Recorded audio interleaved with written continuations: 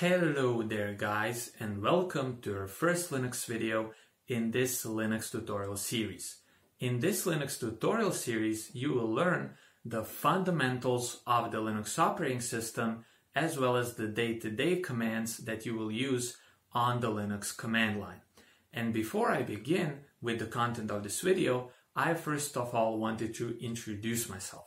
So my name is Mislav Jurić, I come from Croatia and at the point of recording of this video, I am enrolled in a computer science master's degree program. I have also previously worked as a software engineer and have a very big interest in artificial intelligence. So uh, now I wanted to dig deeper into the reasons why I wanted to do this Linux tutorial series. So basically, uh, when I was a young child and I started using computers, I was using Microsoft Windows on those computers, and I wasn't even considering using Linux.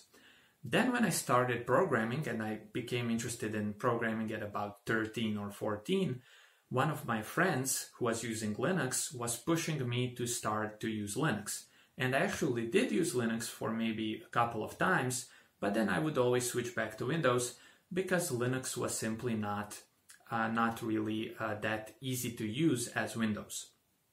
However, uh, I think in 2018 or something like that, I actually had to switch from my desktop computer to my laptop, and my laptop was significantly weaker in terms of hardware than my desktop computer. And then I decided, okay, it would be a really good time to switch to Linux because I heard that Linux was less resource intensive than was Windows. And so I switched to Linux and I was using Linux from that point up to up until this point. However, when I did switch to Linux, I was using mostly the graphical user interface. And by the way, that's completely fine. Using the graphical user interface, in my opinion, is completely fine because it simply eases things, right? You see, you can actually click on certain things and you can see what you are doing. However, the problem was that for some things, the graphical user interface didn't exist and I would have to use the command line. And for those purposes, I had to Google and I had to follow a tutorial, which is also completely fine. So Googling and following a tutorial is also completely fine. However, the problem was that I didn't have the context on what I was doing. So somebody could tell me to modify some system file and I didn't really understand what I was doing. I mean, I did understand some of the basic commands.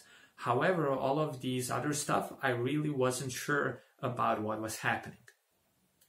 And I always kind of told, told to myself, well, you know, I'm going to learn Linux, but it was always on my to-do list and it had a very low prior, priority until uh, at one point I bought a new laptop. And uh, the tipping point where I really decided, okay, this is where I need to learn Linux, was when I uh, when I was setting up my new laptop and my touchpad wasn't working.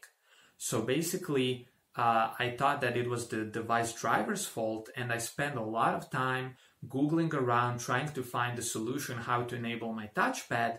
It turned out that the touchpad wasn't the issue, but that I actually forgot to enable the touchpad via the hardware buttons, uh, pressing the FN button and the F7 button. However, it was really frustrating. I ended up reinstalling my Debian operating system five or six times on this new computer, and that's when I decided this is really the time where I need to learn uh, how Linux works. Also, at that time, I got my software engineering job, and on that job, I was using Linux as my operating system. So, what did I do? I read three books on Linux. Two of them I have with me, one of them is available for free on the internet. So, the books that I had, and I have them right here, the first one is How Linux Works by Brian Ward, which is right here. And the second one is the Linux Pocket Guide by Daniel J. Barrett.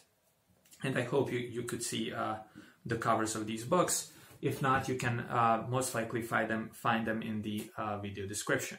Uh, the third book, which is available online for free on the, on the internet, is the Linux Command Line 5th Internet Edition by William Shotts. And basically, I read through those books and I really think I got a, a, sense of what Linux is all about. And I got the big picture view of the Linux operating system. And at this point, I really understand the basic commands. And I mean, I understand more than the basic commands because I read through the books. I actually understand a lot of these things. And at this point, I decided, okay, maybe it would be a good reason to record this video series. And here are the reasons why I decided to record this video series. So the first reason is that this video series paints, or this tutorial series paints the bigger picture. And what I mean by that is I assimilated the knowledge from all of, the, from all of those three books and actually painted the big picture of the Linux operating system. The second thing why I think this course is, is a really good uh, tutorial series is because it focuses on the fundamentals, okay? And uh, these books are amazing. I actually recommend that you read them. However, I found, I found myself not using a lot of the material that I learned from those books in my software engineering job as well as in my day-to-day life. So what I decided to do is I decided to call away all of the things that I didn't use and just focus on the fundamental things that I did use in my day-to-day life, in my software engineering job, and basically just gloss over everything else. The third reason why I decided to make this course, and by the way, my notes are down there, so that's why I'm looking down there, is because it saves time. So again, you won't have to read through those books. And if you have time, definitely do read through those books. They're amazing.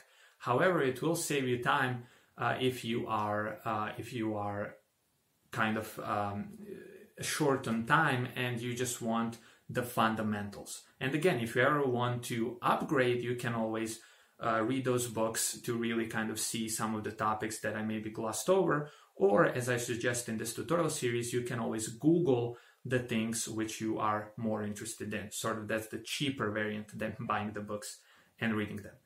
Um, the fourth thing is that I actually reference and uh, quote, or I actually have citations for every single one of my tutorials. So in the video description, you will actually find the resources where I pulled the information uh, that I presented in the tutorial from so that you can actually double check the information source if you ever want to. And I also think this adds an additional layer of quality to the content itself because a lot of the tutorials maybe you're unsure like where did this guy get his information? Is this information accurate? At least I reference the sources where I got my information from so you can be certain that I got them from a legitimate source. And you can actually go to the source to look at that information yourself. And the final thing is that I also included some bits of computer science theory to deepen your understanding. Because I think that to understand Linux, you really need to understand operating systems, and also you need to understand some other things related to computer science. And so these theoretical tidbits are scattered around the, uh, the this uh, Linux tutorial series uh, to deepen your understanding of the Linux operating system. Because once you understand those theoretical tidbits, you actually have a much deeper understanding of the Linux operating system itself. Okay, so those are some of the reasons why I decided to do this course and why I think this course is maybe different from some other courses. Now, who is this uh, tutorial series for, or who is this course for? This tutorial series is for software engineers primarily, and primarily for people transitioning from Windows to Linux. So, software engineers and people transitioning from Windows to Linux are the two types of people that will benefit the most from this course. However, other people uh, who will benefit from this course, uh, but maybe not as much, are system administrators, information security experts, and everybody else who is curious. Okay, so you will definitely also get a lot of value from this, but the audience that will get the, the most value are going to be software engineers and people who who are trying to transition from Windows to Linux or who are trying to uh, sort of uh, maybe maybe even use Linux for the first time as their first operating system ever. Okay, maybe even those people will benefit tremendously from this uh, video series. Okay, and so I also want to say that this uh, tutorial series is structured like any other tutorial series. Uh, so basically, that means I present the material. But what I also did is I included what is called the recaps and checkpoints. So recaps are basically reviews of what we have done in this section of the uh, content uh, of the uh, Linux tutorial series, sort of to go through everything again, just to make sure we understand the main points. And then comes the checkpoint. And the checkpoint is actually the video where I motivate the upcoming sections of the Linux tutorial series so that you are actually motivated as to why should you learn uh, those things that are coming up. Also, I emphasize the important points on which you should really focus on. And before I end this, uh, I just wanted to say that I am by no means a Linux expert. Okay, don't expect this uh, to be like some really uh, ultra advanced Linux course. As I said, this course is aimed at the fundamentals so that if you ever need to, you can upgrade your knowledge. And honestly, I think that my career as a computer scientist, as a software engineer, as a machine learning engineer, maybe even machine learning researcher, uh, hasn't even started. And actually, this is sort of like my brain dump at this point of what I know about Linux. Obviously, Linux is, is an incredibly vast topic, it's an incredibly deep topic.